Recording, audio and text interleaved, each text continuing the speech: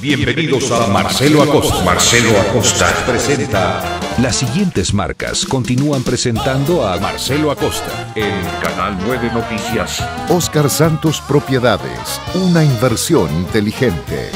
Jam, la marca que quiere la gente. Esta noche, en la próxima hora, Marcelo Acosta presenta. Hace 30 años Descubrí la historia de Sombras en la Noche. Hizo ningún homenaje. Sombras en la Noche empezó en el 93 Sí, y fuimos hasta el 97. sí. Y luego Clotilde le cambió el nombre y siguió sola. Toda historia tiene dos caras. Tiene dos Sí, caras. volvieron después de casi 10 años o más, ¿verdad? Y dieron, eh, por eso se llamó el regreso de las sombras. ¿Qué pasaba detrás de cámaras? Sombras en la Noche es mi creación. Yo Sí. Soy el creador de Sombras en la Noche. A mí me dolió mucho, lo superé y seguí adelante. Y yo creo que sí, Bien, se, bien. se verían, ¿verdad? No, se llevan bien cada uno hacia acá. Hacia Uno para lado, acá, sí. otro para Cada uno allá. por su lado, ¿verdad? Toda historia tiene dos caras. Especial Sombras en la Noche, con Marcelo Acosta. Bienvenidos a Marcelo Acosta. Marcelo Acosta presenta. Es el año 1993 y nacían grandes éxitos. Pero Río Bebé. A comisario va eh y. A pedir canas, amigo. Vaya. Hola. Hola, caña. Me muere el teléfono. Va, yo tampoco. A ver. Tenía el manoma, Cori. Si no, esa bandera es un güey. Ah, por lo visto eres esa por ahí, ¿no? Pero. Te va la niño y qué pen. De corazón, viste, te ve, Cori. Pero pe balanda y cara iri guri. El cazador, amigo. Oye, equivocado, pésáramo. Vaya, o muy que te iba la y cara y mira, amigo. No. No te equivocas. Eso ya fue al propósito. Ja eco cazador da e asesino. Jape apariencia de embarete. Guareco con el corazón romántico, guapo. Sin ya. Ah, pejete, güey. Dele bondad entonces. Sí. Sí. Pero como ah, co- época muy jodido. No de conseguir la sopa. Haciendo ser romántico, ¿sí? Entendemos. Ande. Manara yuko, api.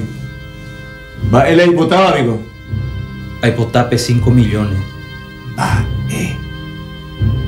Cinco millones. Amará, pico, hipotá. Ako anya pe kuama se jala lo hizo. Ako te pe plata ajá guaco pueblo. Plata la diputaba lleva. Pero plomo la dicota. Vamos a la gatu. Y cara y pona. ¡Hermanona, ya me miré!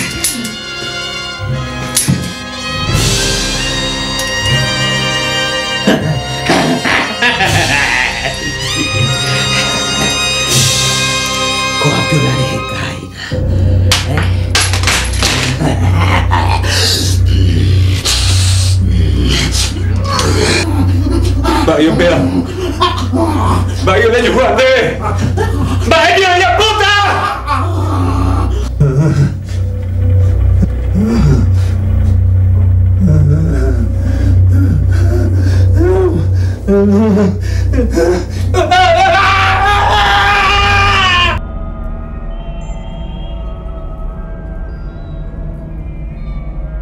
En el año 1993 nacía un hit, un hit que hasta hoy día jamás nadie ha podido superar. Ese hit se llama Sombras en la Noche. Esta es su historia. Bienvenidos. Sombras en la Noche es la serie de ficción de mayor éxito de la televisión paraguaya. Fue emitida por Canal 13 durante cinco años consecutivos. Batió récords de audiencia. Es un icono de la cultura paraguaya y se considera que hay un antes y un después de Sombras en la Noche en lo que respecta a ficción nacional. Aquí en Paraguay no existe, no hay, no hay otra serie de televisión, otra ficción que haya alcanzado los 40 puntos históricos de rating que esta serie, Sombras en la Noche, logró hacerlo en el año de 1993. Hace poco tiempo regresó una versión nueva llamada El regreso de las sombras. Esta nueva ficción basada en Sombras en la Noche, este remake de Sombras en la Noche llamado El regreso de las sombras, sí, tuvo mucha audiencia fue el líder de audiencia, sin embargo, no obtuvo los históricos 40 puntos de rating de la original. Sin embargo, se considera un éxito por los tiempos actuales, ya que en aquel entonces no había redes sociales, no había plataformas, tan solo dos canales de televisión. Sin embargo, se han realizado muchas ficciones en Paraguay, novelas, series, y ninguna de ellas ha logrado el título de reina de la ficción del Paraguay. La única que sigue reinando es Sombras en la Noche. Era el año de 1993 y comenzaba este fenómeno de audiencia. Bueno, Sombras en la Noche representa creo que el comienzo de mucha gente. En mi caso, la primera vez que me toca estar en un equipo para hacer ficción nacional. Eh, estamos hablando del año 93. Eh, y creo que para mucha gente, todo el equipo. Fue una experiencia, para mí, una experiencia fabulosa, trabajar con actores de primer nivel y sobre todo eh, trabajar con ellos y ser, tener una amistad con ellos. hasta ahora tenemos un vínculo amistoso con casi todo el equipo. Eh, realmente fue una, una experiencia espectacular. Los 10 años que estuvo en la ficción, los primeros 10 años que estuvo en la ficción, estuve yo eh, Sombras la Noche primero y siguiente, el siguiente fue otro producto, casi la, la misma temática.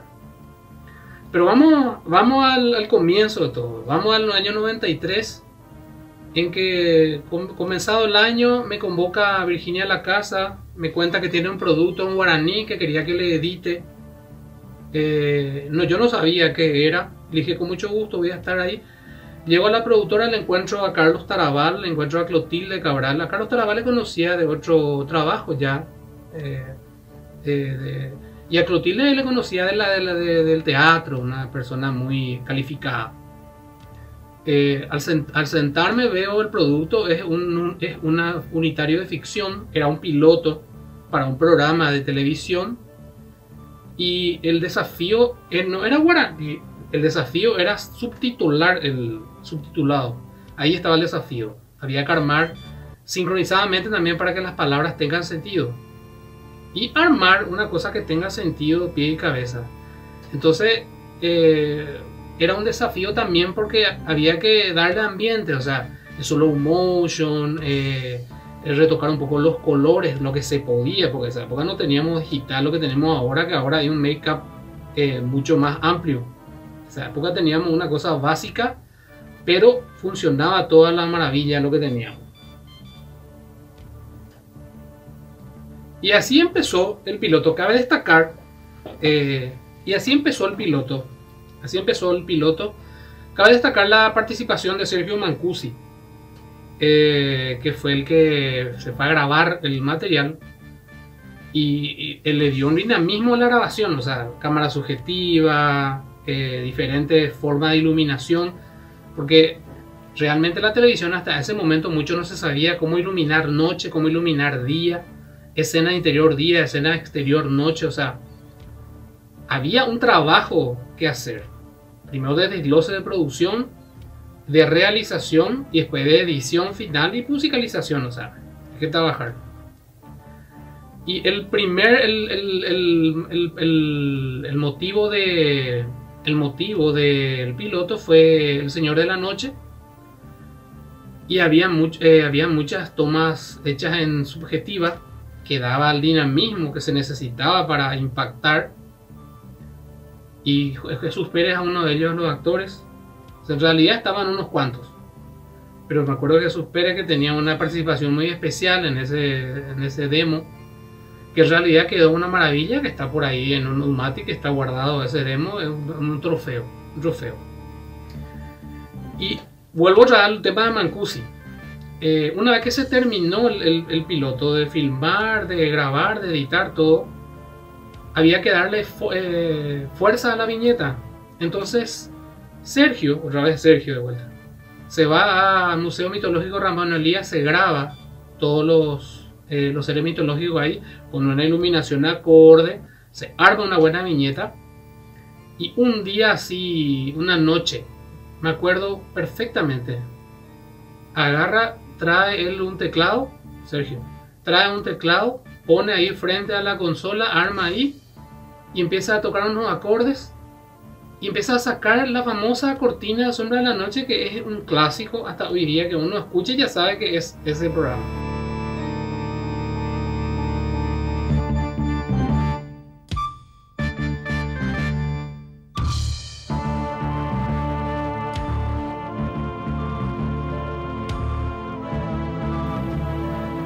Fue una creación de él en una noche, creo que fue un miércoles así.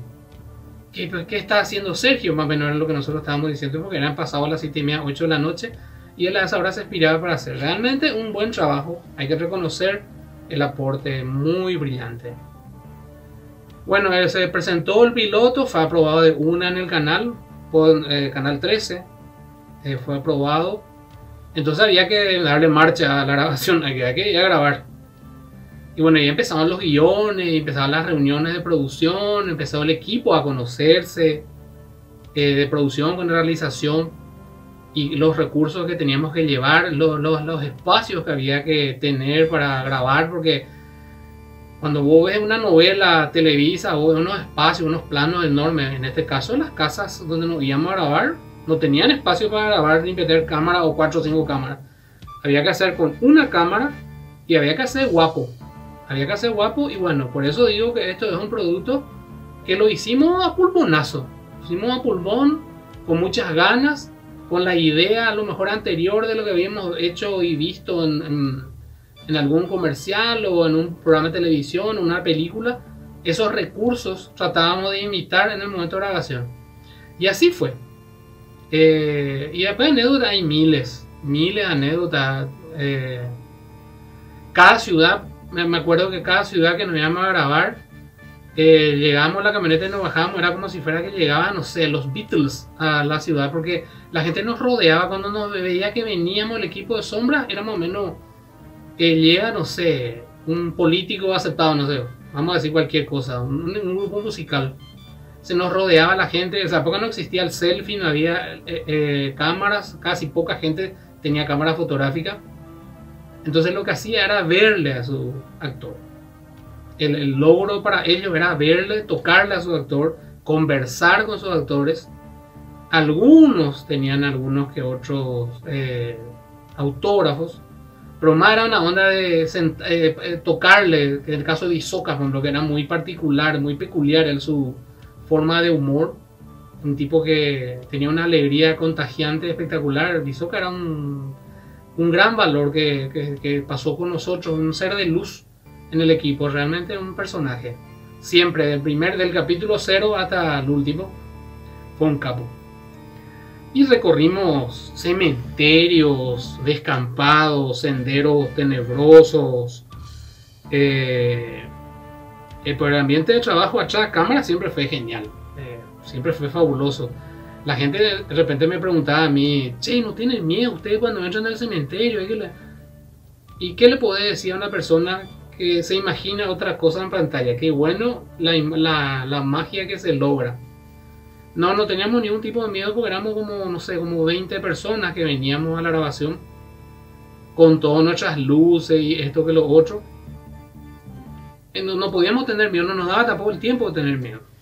Pero vimos cosas particulares. Una vez se rompió una luz cuando montamos la primera luz cerca de un, de un panteón ahí. Se, explotó la luz, nos quedamos con una luz y tuvimos que capearla así. Hay cosas medio raras. Yo siempre en ese tiempo pensé que alguna vez iba a haber un titular de, del diario, de un diario, y iba a decir el titular en la tapa de así, elenco de filmación de programa televisivo eh, atacado por Anima, una cosa así. Siempre yo pensaba ver un titular de diario así. En esa idea me iba siempre. Porque había capítulos que tenía 70 escenas y era ponerle que era 48 escenas noche, exterior noche. Eso te imaginas lo que es, ¿verdad? Muchísimo. Y normalmente nos íbamos a dos días. O sea, eso fue realmente un trabajo titánico.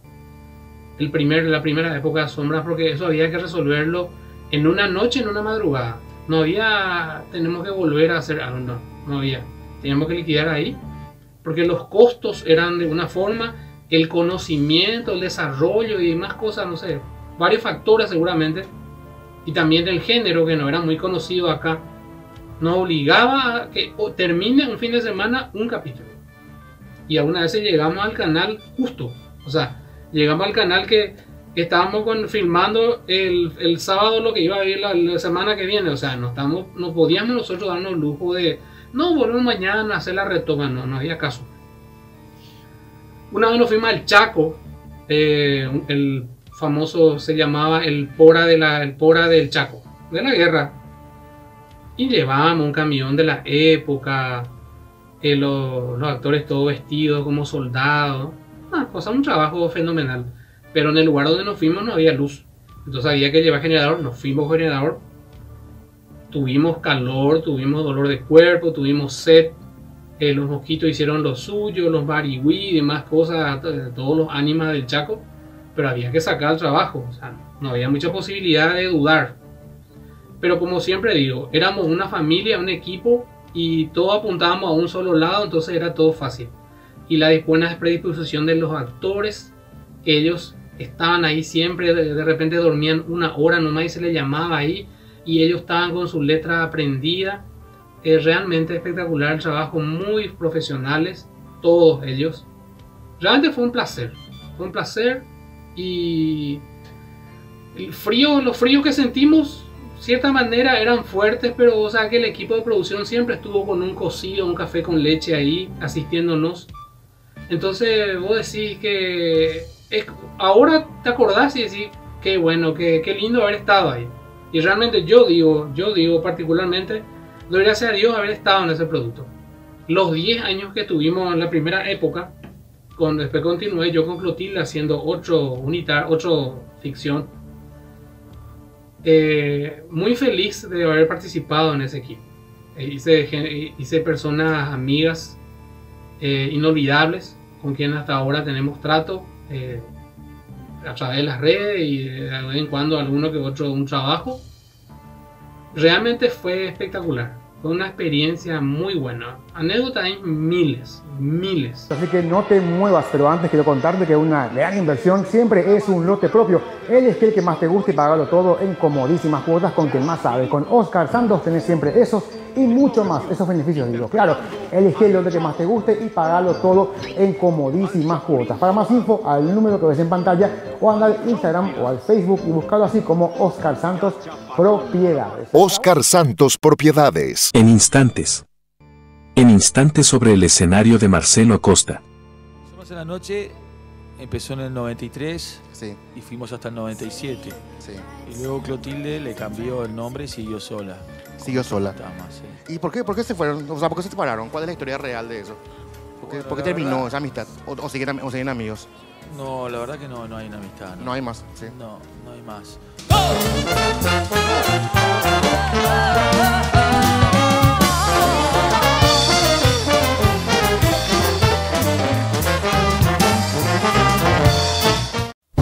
En Oscar Santos Propiedades nos especializamos en la compra-venta de loteamientos. Si desea adquirir su lote propio, nosotros somos lo que usted busca, con los precios más bajos del mercado. Lotes en Capiatá, Ipanel, Bacaraí, Luque, Cacupé, Pirayú, Villa Ayes. Visite nuestra fanpage o llámenos a los teléfonos 440-403, 444-475. ¡Qué gustosos lo atenderemos!